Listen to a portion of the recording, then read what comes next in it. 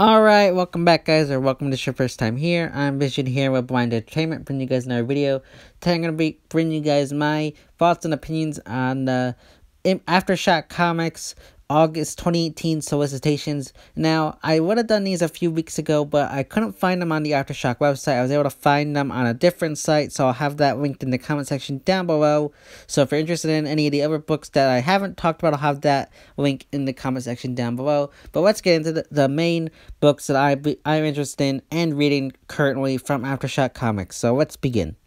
So first, we got my honorable mentions, which include the Brothers Dracula issue 5, her Internal Descent issue 5, and Relay issue number 2. Now, The Brothers Dracula and Her Internal Descent, they're just books that I haven't gotten too into. They're only like the first two issues in, so I'm still feel feeling the books out, seeing how I feel about them, and that's just why they're on my honorable mentions. I just I'm not sure how I'll feel about them in the coming months. As for Relay, I picked up the free comic book day uh, issue that came out in May, and it did pique my interest, but I'm still not sure how I'm gonna feel about it when it comes out in August and July. So that's why it's on my honorable mentions list. Because I just am not sure how I feel about these books. I, however, I do really love these covers.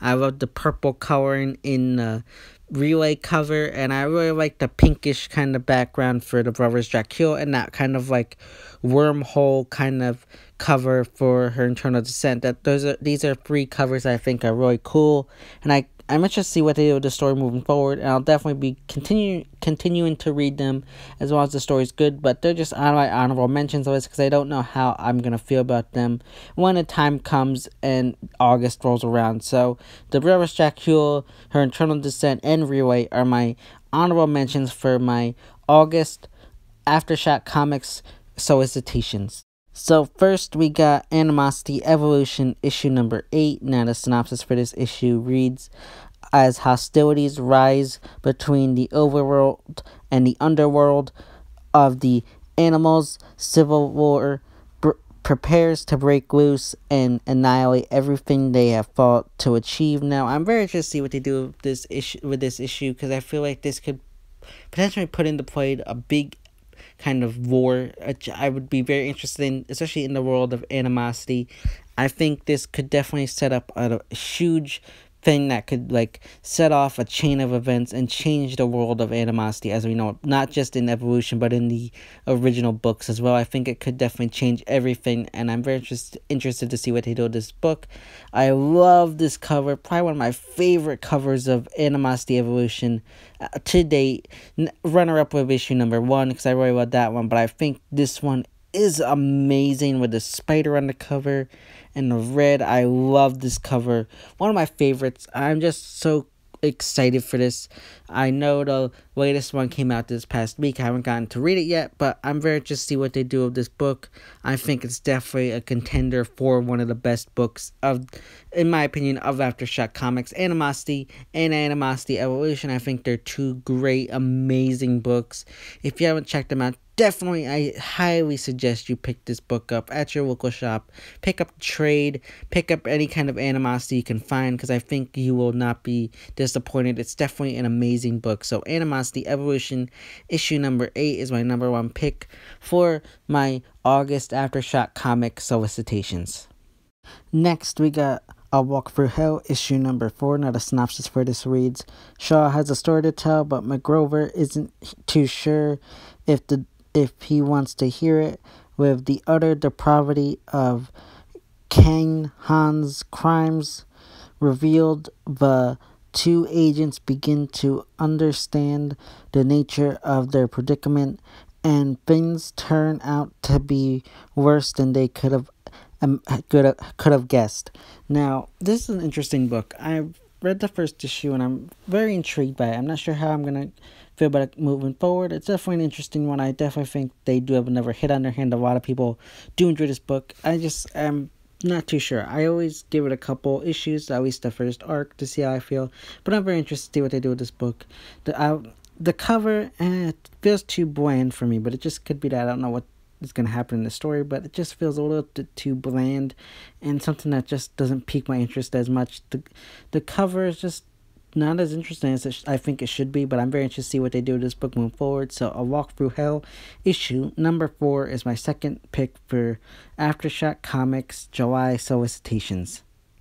Next, we got Babyteeth issue number 13. That a synopsis for this book reads The saga of Sadie Ritter and her adorable little house spawn continue as the search for Clark and Heather takes some drastic and deadly turns. What works in the crimson shadows of the red, red realm probably nothing good, but you're all about to find out. Now I'm very interested to see what they do here. I just picked up the latest issue, and I but I haven't read it, so I'm very interested to see what they do with this book. I think it, this is a great way, just by the synopsis alone, to start off the new arc. And I loved how we got Heather with Clark on the cover. I really like that. Such a really cool looking cover, really captivating, and really giving into the whole, you know, like the uh, de- the devil and dark realm and stuff like that of like Satan and stuff like that. So I really like how they have that portrayed, and I just like the cover. It's really cool looking, and I can't wait to see what they do this with this book moving forward into the third arc. So, Babyteeth issue number thirteen is my next pick for Aftershock Comics July uh, August solicitations. Next, we got the Beyonders issue number one. That synopsis for this book reads: A young boy obsessed with crop circles and cryptology finds his boring life turned upside down when he discovers that all of his conspiracy theories are true, sending him on the ultimate treasure hunt for an ancient secret spanning thousands of years. Now, this has this book doesn't come out till August, but I already am so excited for it. Just given the cover, the cover is so cool looking. It immediately grabbed my eye when I was looking through the different uh solicitations for August, and immediately it was uh, when I read the synopsis, I loved it. I loved the cover. I think this definitely has the potential to be like the, the biggest, one of the biggest things for Aftershock Comics right now. I always say that there these books either they heat up, do do okay, people know about them, or they go through the roof like animosity and and like babyteeth stuff like that. But nothing really gets too big from Aftershock. But I feel like this has potential to be a great, amazing book. So definitely check it out if you haven't heard of it already. Look it up on Aftershock.com. Check uh, check it out. Call your local comic shops. So Beyonders issue number one is my next pick for August 2018. So Aftershock Comics solicitations. Next, we got Dark Ark issue number nine. Now, the synopsis for this book reads The Mother of Monsters, and that's more than just a figure of speech has decided to wage war against Shrey's Ark. Shrey is a powerful sorcerer, but he's no match for such a legendary creature, especially when all of the beasts aboard his vessel are he- heeding their mother mother's call. Now, this is really cool because I think this is something interesting to do with the book. Now I haven't read read issue seven yet that came out in a couple weeks ago, but I'm very excited for this. I can't wait to see where this story goes. I love this cover. Probably one of my favorite covers from the from Dark Ark or so far. I feel like each one gets better and better to an extent, with the, with the exception of issue six. That's probably the weakest one, but I think this one probably is my favorite one so far. First off, you got the banner and like this green color. I love that, and you got Shrey on the cover. Looks like he, they're showing a frontal view of him fighting this beast, possibly. So I think that's pretty cool. I can't wait to read this. This definitely is one of my favorite Aftershock books, and I'll probably do, I have some reviews for this coming out. I just been a little bit behind on my comic reviews, so give me some time. I'll have my reviews up for a bunch of books. I just been kind of having issues with them get, getting a vi- video and stuff like that. So give me time. I got a whole bunch of them coming soon, so definitely check them out when they when I upload them. But Dark Ark issue number nine is my next pick for Aftershock Comics August twenty eighteen solicitations. Next we got the Lost City Explorers issue number three. Now, the synopsis first book reads Hellcats, her brother, and their millennial teenage friends are running from mercenaries, hiding from monsters, and exploring the dangerous world of New York City underground tunnels, but will they find the mysterious supernatural doorway to the lost city of Atlantis? Now, I can't wait to read this book. The first issue drops next Wednesday, so if you haven't heard of it, definitely check it out from your at your local comic shop. It's by Zack Kaplan.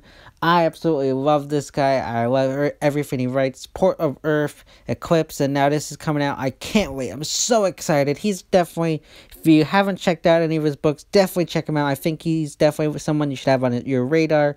And I absolutely love this cover with the people, with the group running on the cover. And then you got the, I'm guessing that's the antagonist on the in the background chasing them and I love it. So cool looking. I can't wait to see what they do of this book. I think it definitely like I said with the other book uh, Beyonders, I think def- this definitely has potential to be a great aftershock book as long as they play their cards right and do some good stuff with this book. I think it definitely could be a contender for things like Babyteeth and other books that are similar to that these kind of concepts. But I can't wait. So the Lost City Explorers issue number three is my next pick for Aftershock Comics August solicitations. Next, we got, I think it's called Vulsion, issue number one. Now, the synopsis for this book reads In a not too distant future, artificial intelligence has spawned a race of robots that serve all of humanity. Robots are considered second class citizens, but a few in the AI community are fighting back in a constant struggle for equal rights. Now, I can't wait for this book. I've there's a more synopsis on the website where I found these, and I'll have that linked in the comment section down below. But I really like this concept of the robots being second class citizens, and it kind of brings up some issues we're having right now in the world right now, whether you're for some of the things or against it. I'm not going to get into that on my channel. But I think this is a great way to go about doing it. I think I can't wait to. I think this could definitely be a great book for Aftershock with it coming up some issues about the times and stuff. So I can't wait. So Vulsion issue number one is my last pick for Aftershock Comics August solicitations. So yeah, guys, those are my thoughts and opinions on uh, Aftershock Comics August 2018 solicitations. Now, if you like any of these books and you want to do a review of them, let me know in the comment section down below. And if you have any books that you think I should check out for Aftershock Comics that weren't on this list, let me know that in the comment section down below as well. As always, don't forget to hit that like button and don't forget to share. And don't forget to subscribe down below and hit the bell icon so you don't miss any future reviews of Aftershock Comics moving forward. This has been Vision here with Blind Entertainment, and I will see you next time.